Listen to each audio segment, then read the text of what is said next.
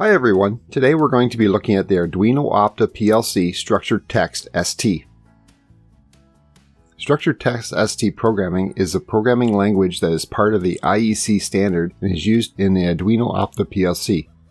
This programming language allows you to write code in a structured and organized manner, making it easier to understand and maintain. With structured text programming, you can create complex and sophisticated programs by combining statements, functions, and variables. Artificial intelligence AI can be easily used with structured text ST. We will demonstrate how to use AI to get a sample program for quick modifications in your application. The Opta PLC provides high flexibility and control of your applications. The Arduino Opta PLC supports structured text programming as one of the five programming languages in the IEC standard and Arduino C++. This allows you to choose the programming language best suit, suited your needs and preferences. Arduino C++ is a widely used programming language in the Arduino community and offers a vast library of functions and resources. Whether you, you program in structured text, Arduino C++, or any other language, the Arduino Opta PLC provides a powerful platform for developing automation and control applications. Its versatility and compatibility with different programming languages make it popular among developers and engineers. In the following sections, we will explore how to start a new project in the Arduino Opta PLC and how to map the physical I.O. in your PLC. These steps are essential for setting up the foundation of your project and ensuring proper communication between the PLC and external devices. Detailed information contained in this video can be found at accautomation.ca.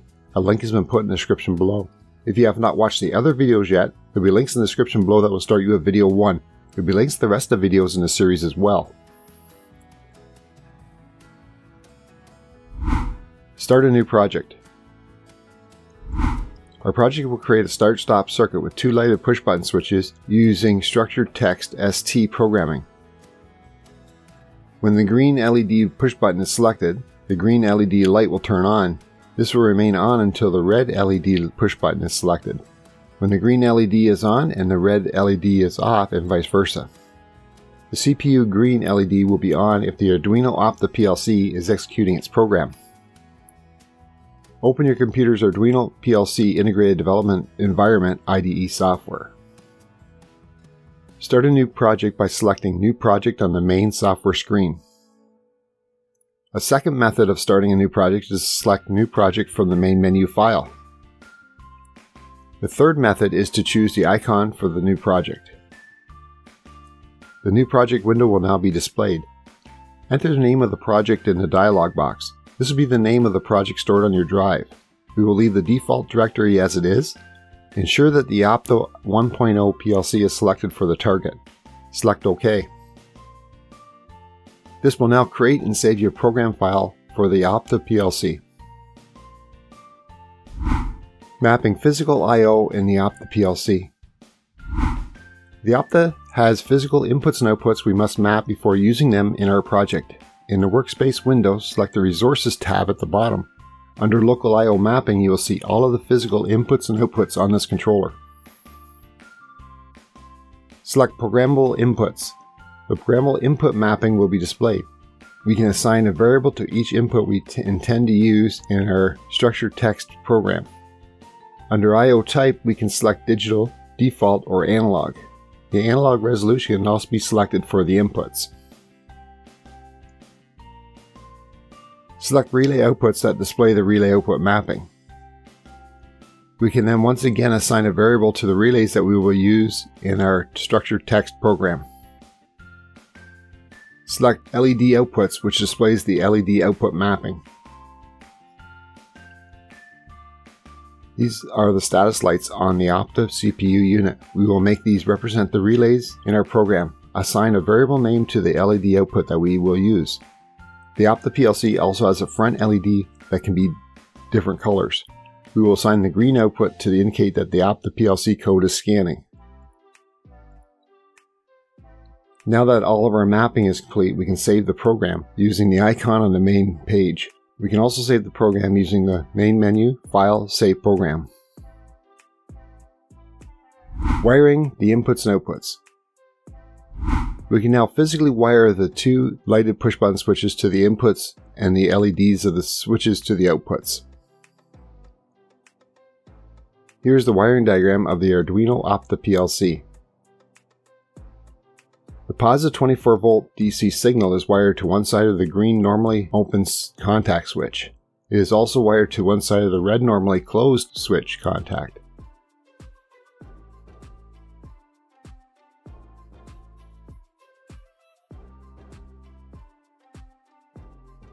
The other side of the switches are wired to input 1 and 2 respectively.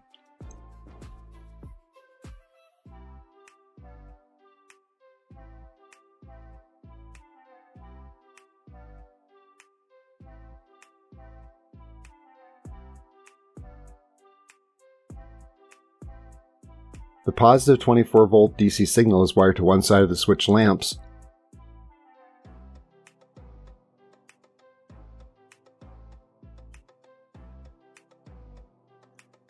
Relay outputs are provided on the Arduino Opta PLC.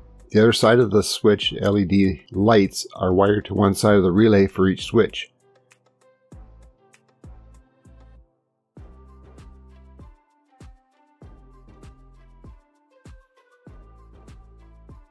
Green will be the output 1 and red will be output 2.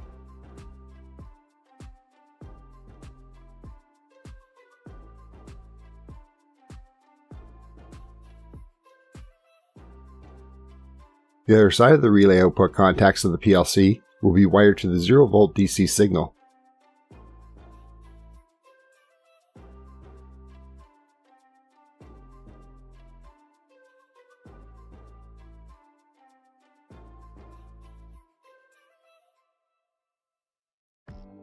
This completes the wiring of the PLC.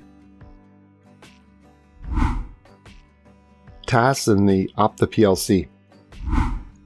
To access the tasks in your project, navigate to the Project tab and locate the task folder. You will see the list of IOs we have just mapped for this project. Expand the folder by clicking on the plus sign next to it.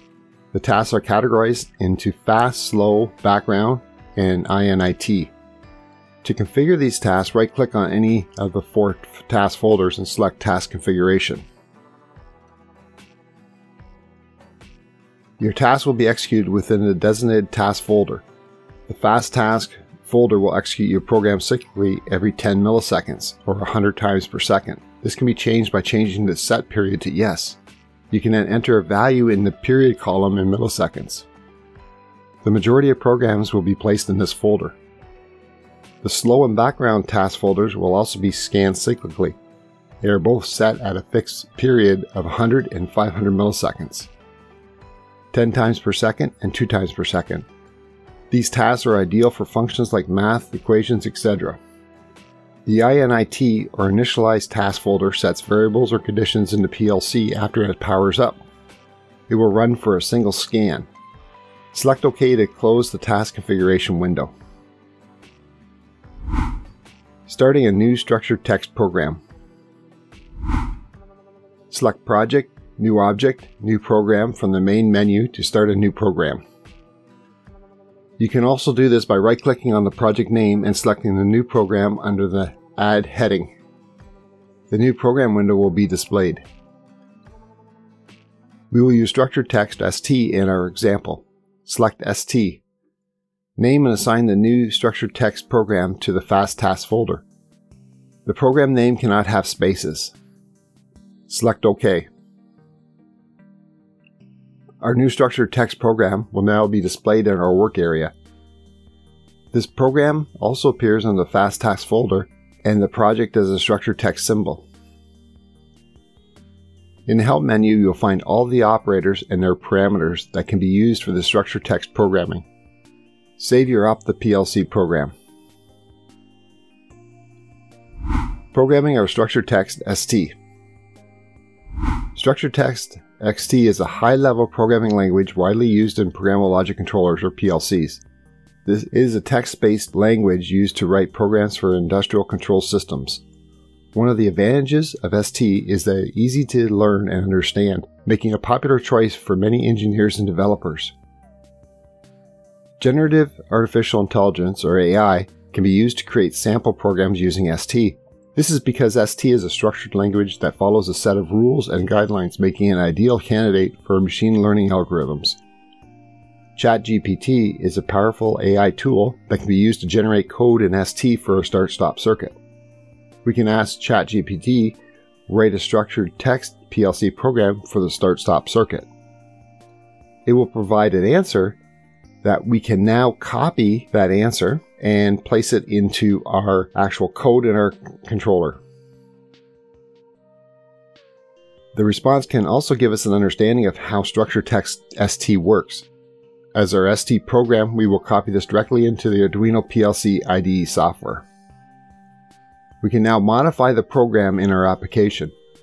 Our input and output variables already have been defined. There is a local variable window to define the motor running. We can now modify the code for our conditions to start the motor, green output.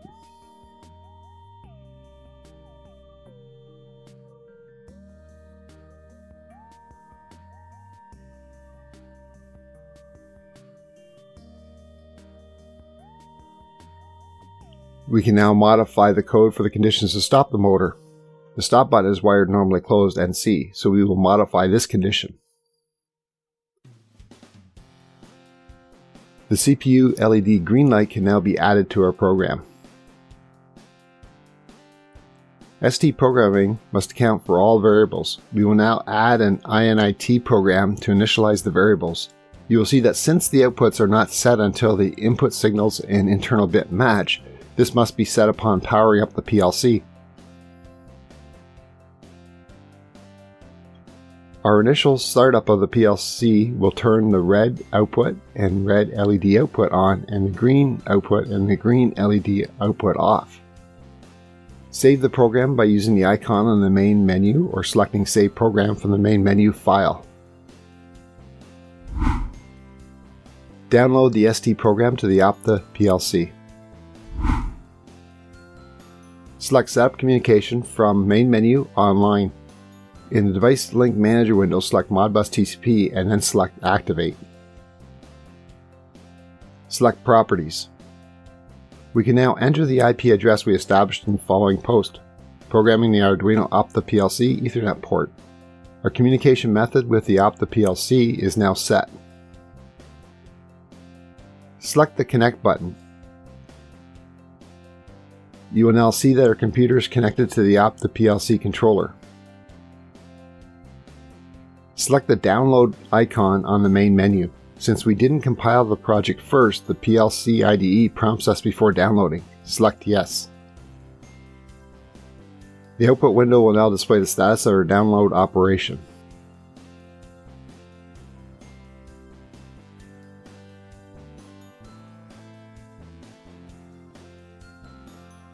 When this has finished, the bottom right side of the software will show you that the PLC IDE and the controller programs are the same. Monitoring the ST logic and variables. Select the live debug mode on the main screen. This will show you the status of our inputs and outputs on the ST or structured text. Select the watch window on the main menu. This will display the watch window. We can enter and select the variable or tags we want to monitor.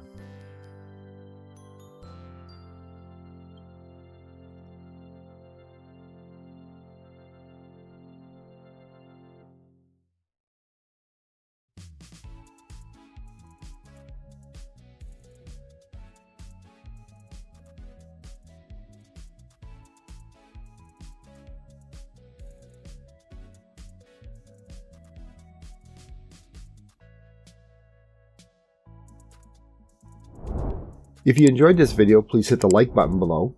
If you have any questions about the video, please leave a comment below and I'll do my best to answer it.